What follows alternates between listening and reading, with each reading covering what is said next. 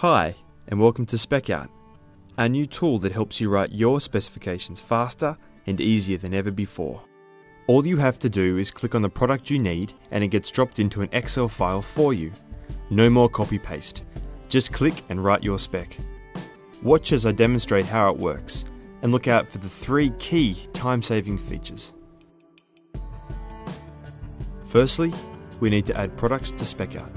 Let's start with the grab rail. As we navigate there from the home page, this is a good time to mention our first key time saver. We have conveniently retained the left-hand menu and added a search bar so you can navigate directly to products by entering their model numbers or searching for a key term. Now we've arrived at the grab rail we want, we simply click Add to SpecOut. At this point, you can view your specification, but we'll add a few more products first. Here's our second key time saver. To save you time searching, we've incorporated related products. Let's navigate to the accessible 3-in-1 unit and add it to SpecOut.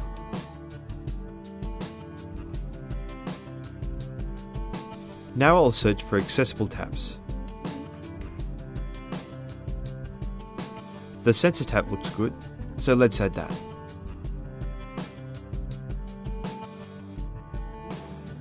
Now let's view our specification.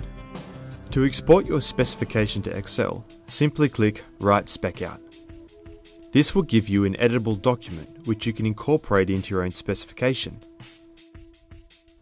Please note that the images are locked to their cell, so you can move the lines around easily using a filter.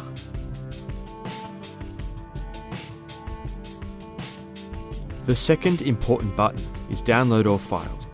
This will give you a zip folder of all the tech data files related to the products in your spec out. But let's say you only wanted one product's technical data sheet.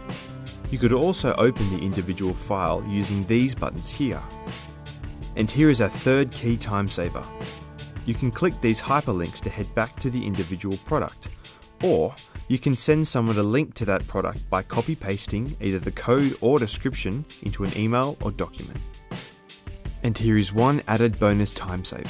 You can remove products individually or click remove all products to start a new specification. Thanks for watching our demonstration of SpecOut. Try building your own spec now and see how much time you save.